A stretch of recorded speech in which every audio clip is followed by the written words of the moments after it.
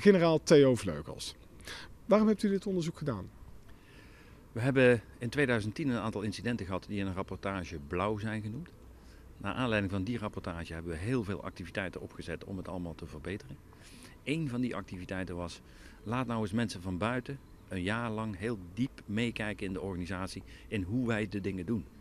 Integriteitsschendingen gebeuren natuurlijk soms omdat mensen ondeugend zijn, maar soms slijten ze ook in vanwege de manier waarop je dingen doet. Nou, dat is gebeurd. Dat onderzoek heeft plaatsgevonden in het academiejaar 2012-2013. En de onderzoekers van buiten hebben dus een jaar lang overal mogen meekijken, met iedereen mogen praten. Daar hebben 170 kadetten, adelborsten en docenten, kaderleden, uh, aan meegedaan. En die hebben zich heel kwetsbaar opgesteld. Ik heb ze daar vanmorgen een compliment over gegeven. Ze hebben zich heel kwetsbaar opgesteld op de vraag van waar kunnen we nou op het gebied van de integriteit onze opleiding verbeteren. De onderzoekers zijn er wat mij betreft, en daar hebben ze ook vanochtend een compliment over gekregen, de onderzoekers zijn er prima in geslaagd om dan niet met dat wijsvingertje te staan en te roepen van oh, er wordt nog steeds gedronken. Maar die hebben gezocht naar van waar komt dat door en waar zou je nou aan moeten gaan sleutelen om de kans dat dat tot problemen leidt te verkleinen. Ik ben dus heel erg blij met het rapport.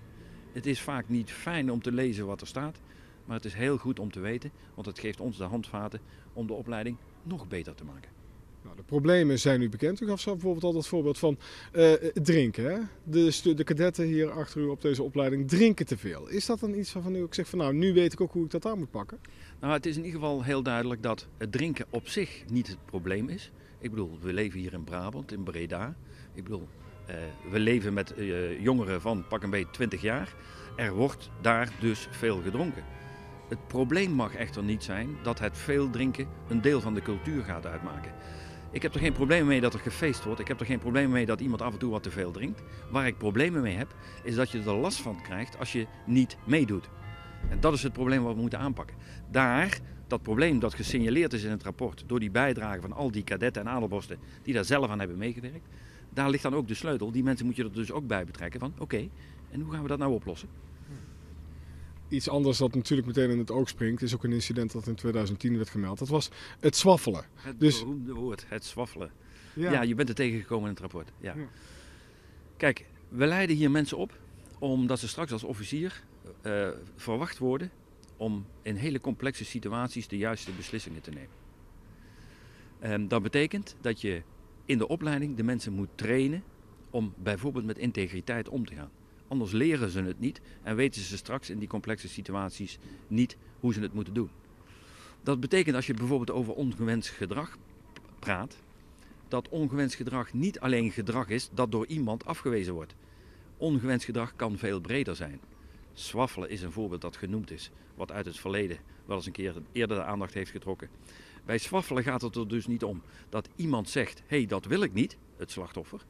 Het gaat er gewoon om dat iedereen helder moet hebben dat swaffelen niets te maken heeft met het vormen wat we hier op de KMA doen en op de KIM doen, zeg maar binnen de NLA doen. Dat betekent dat dat dus ongewenst gedrag per se is. En iedereen die zich daarmee bezighoudt weet dat hij fout bezig is. Ook als het slachtoffer, om wat voor reden dan ook, zegt van nou, ik vind het niet erg. Want als een kadet in het buitenland onder de meest extreme omstandigheden moet kunnen werken, dan moet je toch ook kunnen verdragen dat hij wordt geswaffeld.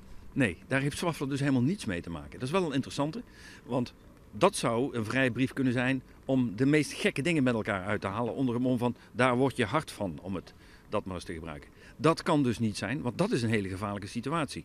Wat we dus moeten afspreken met elkaar is hoe trainen we dat? Wie traint dat? En wie bepaalt dat iemand het beheerst of niet? En dan gaat het niet alleen over dingen laten zien. Hè? Het feit dat je fysiek fit bent, het feit dat je doorzettingsvermogen hebt. Het gaat om de waarden die in je zitten. Je kunt best laten zien dat je af en toe eerlijk bent, maar ik wil dat ze eerlijk zijn. Dat is van een andere orde. En in dat kader moeten we dus nadenken over hoe vorm je die mensen. Maar één ding, zwaffelen hoort daar niet bij ik vind het prachtig dat u dit doet en dat u het wilt bestrijden. Maar het is van alle tijden al. In 1860 werden er misstanden gemeld op de KMA. Werden de mensen vernederd en werden de mensen mishandeld. Dus wat maakt nu dat u denkt, ik kan dat bestrijden? Kijk, het interessante van dit rapport is, ik heb het net gezegd. Mensen van buiten hebben een jaar lang overal mogen kijken en met iedereen mogen praten. Die mensen hebben, hebben handvaten benoemd die aangereikt zijn door de mensen van de NLDA. Dat maakt dit rapport heel speciaal. Dat betekent dat het ons rapport is. Dat betekent dat wij er iets mee kunnen doen, want onze mensen hebben het zelf aangedragen. Dat maakt het verschil. Het feit dat het van alle tijden is, het feit dat we hier lange tradities hebben, wil niet zeggen dat die tradities per definitie fout zijn, maar in de huidige setting, in de huidige omgeving waarin we werken, in de huidige complexiteit met de huidige jeugd, moet je je dus afvragen: kan dat niet nog beter dan we dat al doen? En wat mij betreft is het antwoord daar ja op. En ik heb er ook alle vertrouwen in dat het ons lukt om een belangrijk deel van die aanbevelingen te realiseren. Het rapport zegt drie tot vijf jaar, dus verwacht geen wonderen. En de reden is dat het ons rapport is. Onze mensen hebben dit rapport mede vorm gegeven. En dat betekent dat wij daar alle vertrouwen in hebben dat we die richting uit kunnen ontwikkelen.